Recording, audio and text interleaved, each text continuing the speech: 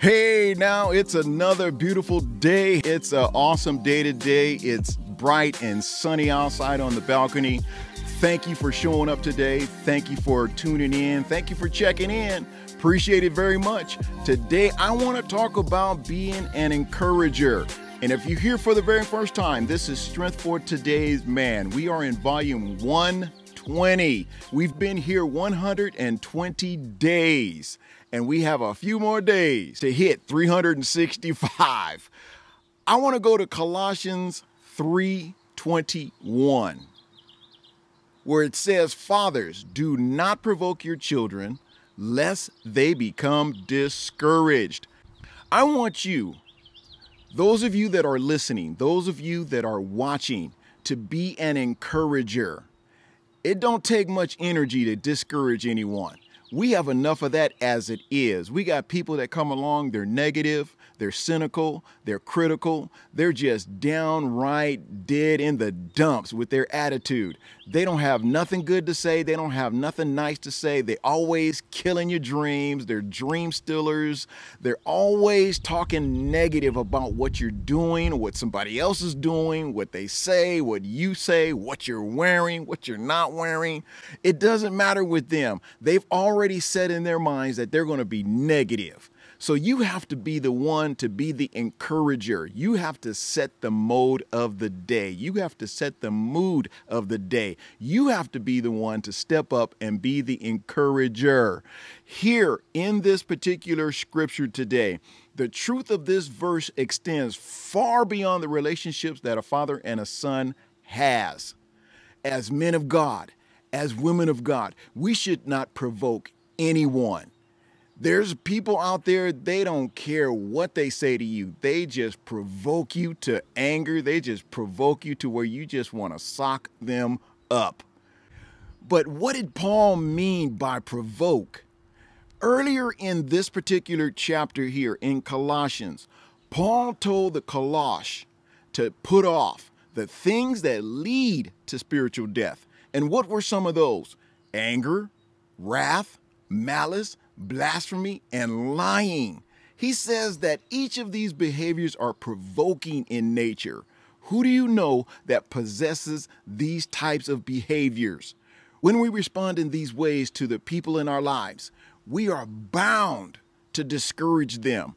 We don't want to discourage anyone. We want to be the ones to lift them up. Yeah, you're going to be looked at as a goody two shoe if that's considered something to say nowadays, being that we're in 2023. But it doesn't matter. People are going to look at you like you are just a square, you're just a L7. Once we have taken off the things that lead to discouragement and death, you know what we need to do? We need to replace them. We do this when we put on the following characteristics tender mercies, kindness, humility, meekness, long suffering, bearing with one another, forgiveness of one another, and love. We are to be ruled by the peace of God. Let Christ's word live within us. Sing spiritual songs to one another. Now, I'm sure you're not going to be sitting around your job singing spiritual songs to one another, but you can sing within your heart. You can sing on the inside things that please God, and that will uplift you. And being that you're uplifted from the inside, the outside is going to display whatever your countenance are on the inside. So if you are happy on the inside, People are going to see that. You're going to be happy on the outside. Everything we do, let it be done for the glory of God. Everything in the name of Jesus. When we do not provoke others, we encourage them to come to us and be in a relationship with us. People will be able to approach you because you are lovable. The reason why people don't have friends today, because they don't show themselves friendly. Look at the people in your office. Who's the negative one there? Who's the humbug in the office? Try something different. Try to change that atmosphere. Try to be the one to encourage them. They'll come with discouraging words. Flip the script. Say all manners of kindness. Say a lot of things that are nice. Say things that will cancel out their discouragement, that will cancel out their negative attitude. You have to be the one to stand up and be the one that encourages other people. It's not going to be easy, it's going to be tough. It's going to take a little work, but you can do it. With God on your side, you can change your office, you can change your home, you can change your school, you can change your neighborhood, you can change your community. It just goes from there. But it starts with you, starts on the inside. What's going on in here? When we have relationships with people, because of the love that we show, because of our friendly attitude, because of our friendly nature, they will grow to trust us. And in turn, they will demonstrate this new outfit to those around them. Be an encourager. Be the one that sets the tone in the workplace, in the home. Be the one that lifts everyone else up.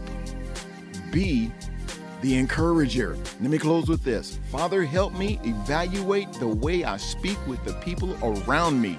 I want to be encouraging to them. Give me an opportunity today to be humble, forgiving, peaceful, and kind. That's what an encourager is. This is Strength for Today's Man, Volume 120.